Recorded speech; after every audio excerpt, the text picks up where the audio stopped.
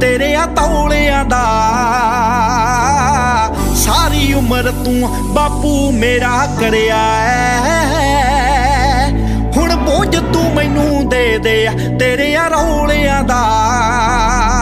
ਜਿਹਨੂੰ ਟਿਕਦੇ ਟੈਂਦੇ ਨੂੰ ਲੋਕੀ ਟਿਚਰਾ ਕਰਦੇ ਸੀ। ਓਹ ਪਰਬਤ ਵਾਂਗੂ ਛਾਤੀ ਤਾਣ ਖਲੋ ਗਿਆ ਦੀ ਕਿਹੜੀ ਸ਼ੈ ਚਾਹੀਦੀ? ਦੱਸ ਬਾਪੂ।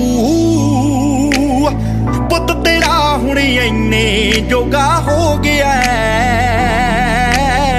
ਦੁਨੀਆ ਦੀ ਕਿਹੜੀ ਸ਼ੈ ਚਾਹੀਦੀ? ਦੱਸ ਬਾਪੂ।